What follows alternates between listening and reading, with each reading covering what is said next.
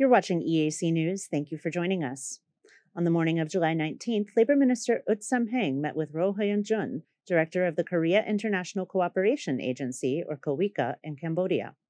The two discussed the partnership between Cambodia and South Korea in the fields of technical and vocational education and training, or TVET, and information communication technology skills, also known as ICT. They also signed a five year cooperation plan in pursuit of developing Cambodia's technological capacity. The KOICA director reaffirmed his agency's commitment to joining Cambodia on building professional skills in the field of technology communication for Cambodian youth and to sending their experts to train Cambodians in professional development.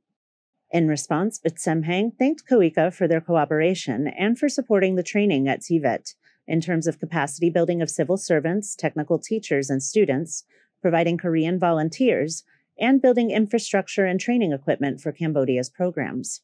The minister emphasized the importance of developing ICT skills in Cambodia, especially in the field of vocational training, for which the government has laid out a plan starting later this year, which will provide vocational training to 1.5 million impoverished and vulnerable youth across the country.